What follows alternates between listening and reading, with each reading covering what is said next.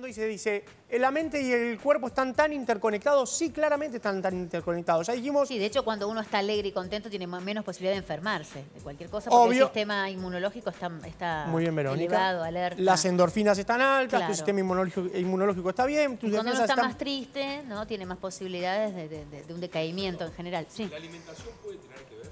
Lógico, en esto que decíamos, decíamos, las pacientes que tienen depresión, incluso eh, van a quedarse en la cama tirados, si no van a hacer actividad física, van a ser sedentarios y su alimentación no les importa, comen lo que le dan. No, eso digo, puede ser que una determinada alimentación desbalanceada además sea eh, generadora de depresión en la gente. No, no estoy de acuerdo en que de acuerdo a lo que usted coma se va a deprimir más o no, pero sí está demostrado que aquellos pacientes que son obesos tienen más riesgo de depresión que aquellos pacientes que tienen un peso adecuado para su edad y su contextura física.